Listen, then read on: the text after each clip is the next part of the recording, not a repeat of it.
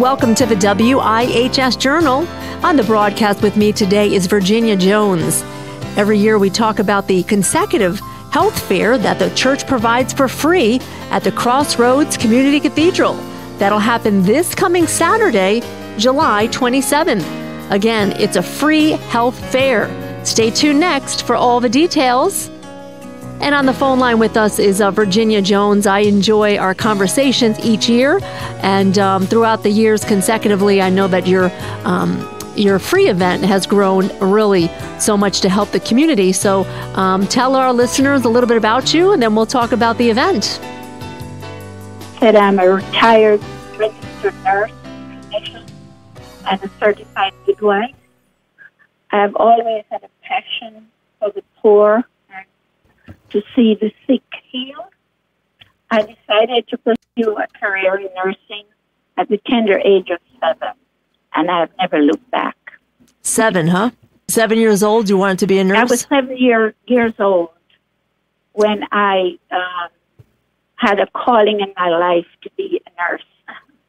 That's awesome. And then what age did you go to nursing school? Were you here in the country? I went to nursing school in in London, England.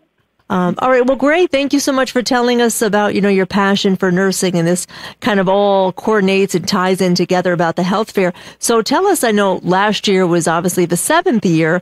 Um, tell us how that event was and the turnout. Oh, last year was great success. And we did mammogram on site and we also did prostate screening.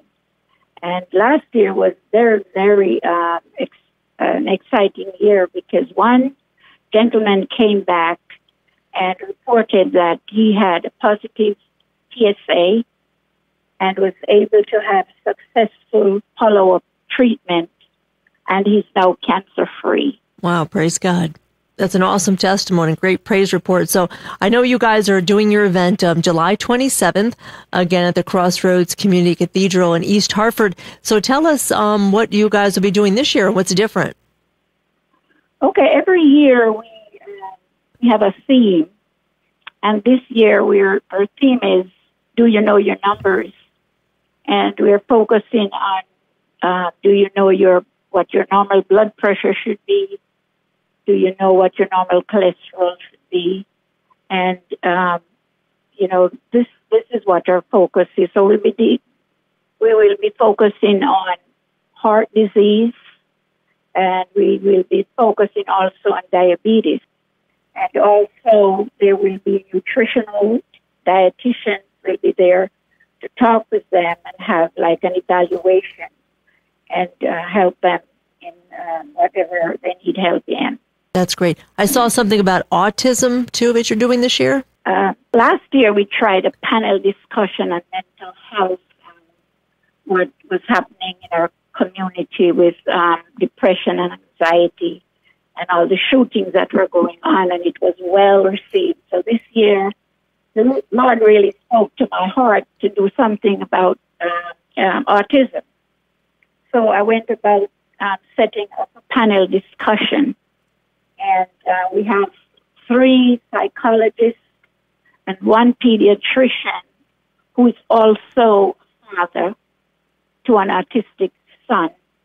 They will be uh, on the panel, and I'm hoping to get a large crowd to listen to them because there um, there's so much misconception around autism. I think that hearing from the educational side, the medical side, and you know, the social side of the disease, uh, I think it's going to help a lot of people.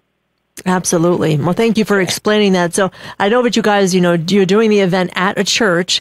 So tell me, how do you think, you know, Christ is glorified in an event like this?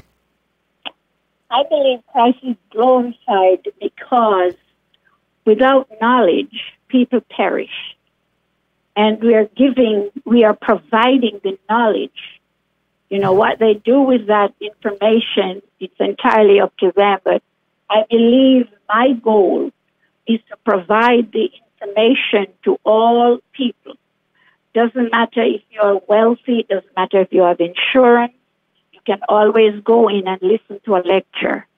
And um, that is what I'm doing. I believe God is glorified in it because not only are we giving the, medical, uh, doing medical screening, but we're also providing spiritual counseling. There, there's a tent where prayers are said, whatever needs they might have. Someone might just get a bad news, bad health report, and they can always go in and listen or talk with on a one-to-one a minister that will counsel them and you know make them comfy and they will also um, encourage them if they have if they do not have a church home the crossroads community cathedral would be would welcome them with open arms. And that has happened. People have also received christ during this time. So it is not only supplying we not only supplying the medical, but we are also supplying spiritual help too. That's fantastic. That's fantastic. Thank you so much for sharing that about the, the prayer tent and plus, you know, different screenings that are happening. Who do you think mainly you're targeting for an event like this? Who are your main people that you're targeting?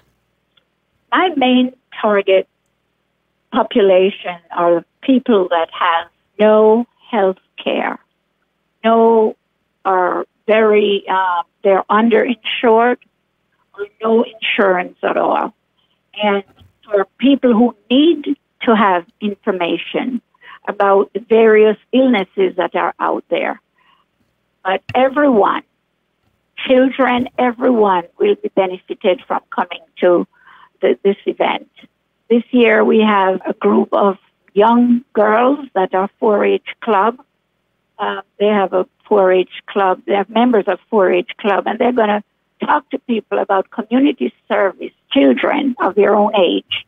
You know how you can get involved from a very uh, young age in your community by doing various tasks and uh, being helpful, and you know the discipline that goes along with that. Any details that I missed in this interview that uh, you would like to convey to our listeners?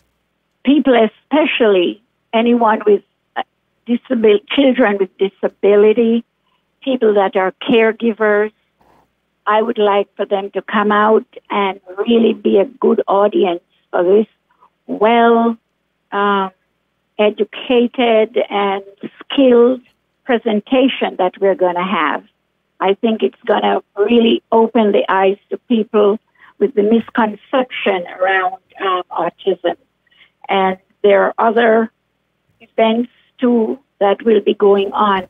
But our focus right now is on the autism spectrum. And um, that is where we are really asking people to come. You know, people get so bogged down with the everyday chore. They, they have given up hope.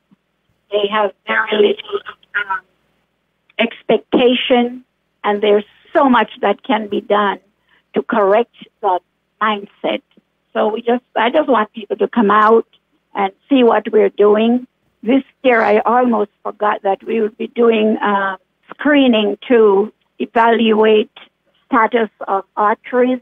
If you are clogged arteries, these are usually the first sign before you get a stroke. Mm. And you don't really know it because it's so silent. So all these screening will be offered free of cost. Just be benefited from that. Perfect. Um, just tell us again the dates and the time and location. The date is July 27th, and it starts from 9 to 2.30, and it's at Crossroads Community Cathedral, which is 1492 Silver Lane in East Hartford. Once again, that was Virginia Jones, the coordinator of the 8th Annual Free Health Fair at the Crossroads Community Cathedral in East Hartford. Again, that's coming up this weekend, July 27th, this Saturday. For more details, call WIHS. Our phone number is 860 346 1049. The opinions expressed are those of the participants, not necessarily those of a staff and management of a station. I'm Anissa Porticelli. The WIHS Journal is public affairs from WIHS Middletown.